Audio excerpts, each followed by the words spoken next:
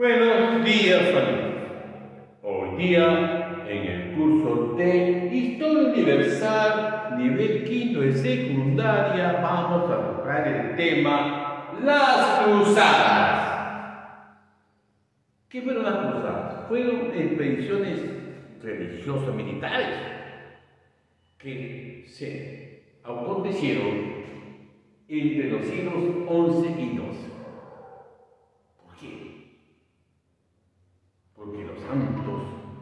Territorios en Palestina, los santos lugares, habían sido invadidos por los turcos selyúcidas y habían tomado prisioneros a los peregrinos. ¿Quiénes participaron? Los señores feudales. ¿En busca de qué? En busca de gloria, en busca de poder, en busca de territorios. Como siempre, el trasfondo de toda guerra son los intereses económicos. De todas las cruzadas, ocho cruzadas, destacan la primera, que tuvo dos etapas. La etapa popular, liderada por el señor Pedro el Ermitaño y Gualterio Sinader, que reunieron a personas sin instrucción militar y hicieron llegar a Palestina. Fueron aniquilados. Y la segunda etapa, la etapa señorial, convocada por el Papa. ¿Cómo se llama el Papa? Urbano, Urbano II, donde destaca don Alfredo de Muñoz.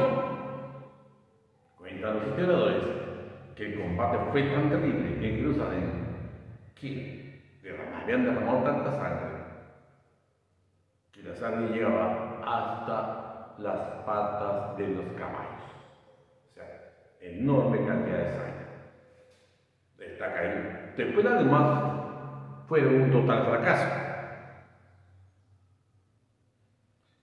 También destaca la cruzada, tercera cruzada, llamada también la cruzada de los reyes. ¿Por qué? Porque ahí Federico Barbarroja, Federico Augusto y Ricardo Corazón de León de Inglaterra. Nos pusimos ahí Inglaterra porque todos sabemos quién fue Ricardo Corazón de León, famoso Ricardo Corazón de León. Ricardo Plantagenet, el segundo rey Plantagenet de Inglaterra. Esas fueron las más conocidas. Fueron derrotados. Y después estalla una guerra entre Ricardo Corazón de León y Felipe Augusto. Pero Ricardo Corazón de León es asesinado de un flechazo en sus posesiones francesas. Ya es otra historia. También se producen las consecuencias, se debilita el poder feudal. porque Los señores feudales, a irse a las cruzadas, perecieron. ¿Cómo regresar? Los siervos obtuvieron libertad. Esa es la etapa en que aparecen los apellidos. Tomaban el apellido del lugar. Pues algunos se apellidan Montoya. Otros se apellidan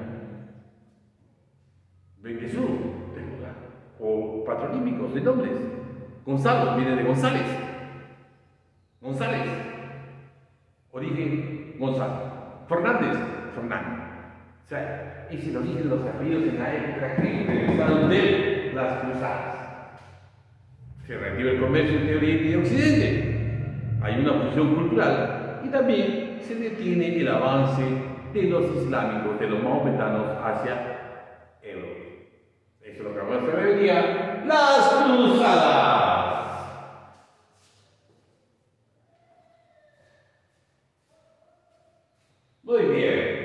Concepto. Concepto de la cruzada. Fueron expediciones religiosas militares que se desarrollaron entre los siglos 11 y 13. Entre los siglos 11 y 13 los cruzados, como los templarios, usaban una espada enorme que tenía que agarrarlo con las dos manos para combatir.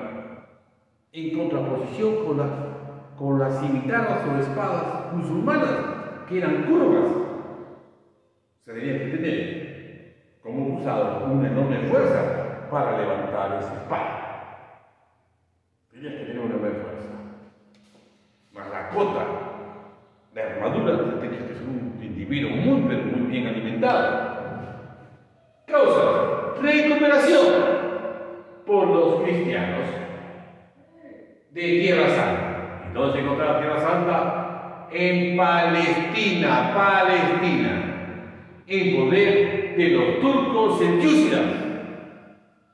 Búsqueda de tierras, búsqueda de tierras, poder, riqueza y espíritu aventurero.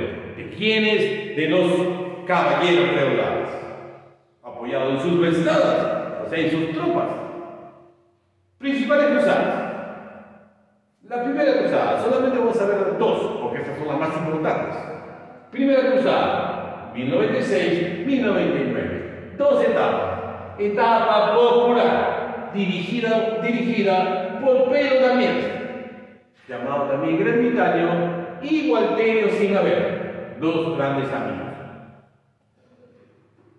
Congregaron un montón de grupo de personas, enorme grupo de personas, pero sin preparación militar. Fueron aniquilados. Etapa señorial. Etapa señorial. Etapa señorial. La única que tuvo es cruzada, también llamada cruzada de los reyes o de los caballeros. Disculpen, cruzada de los caballeros. Fue convocada por el Papa Urbano II en el Concilio de Cremón el 28 de noviembre de 1095, con el lema Dios lo quiere y había que combatir. Destacaría Godofredo de León, con el cual ocuparía Jerusalén en el año 1099. Ahora vamos a ver la tercera cruzada en 1088, 1188, 1192 llamada también la Cruzada de los Reyes. ¿Por qué? Lo vamos a ver. Convocado por el Papa Clemente III. Acudieron Federico I Barbarroja, del Sacro Imperio Romano Germánico, Felipe Augusto II, rey de Francia, y Ricardo I Plantagenet, corazón de León, rey de Inglaterra. Ahora vamos a ver las consecuencias, consecuencias debilitamiento de los señores feudales y fortalecimiento de los monarcas. Al perecer durante las cruzadas, no regresaban a sus territorios y esos territorios pasaron a manos del rey. Pasaron a manos del rey. Y así se fortalecía, se fortalecía el poder de los monarcas. Ahí también tienes origen los apellidos. Los apellidos tienen su origen ahí. Reactivación del comercio entre Occidente y Oriente. Desarrollo de la burguesía. Se desarrolla la burguesía porque al no haber señores feudales, los castillos empezaron a desuso, entonces se desarrollan las ciudades. Siguiente consecuencia, freno a la expansión islámica y florecimiento de las ciudades italianas. ¿Por qué, profesor, pero por qué florecimiento de las ciudades italianas? Porque las ciudades italianas se encargaron del comercio. Venecia, Génova, las dos más grandes ciudades, sumamente comerciales. Tenían colonias en varias ciudades alrededor del mar Mediterráneo.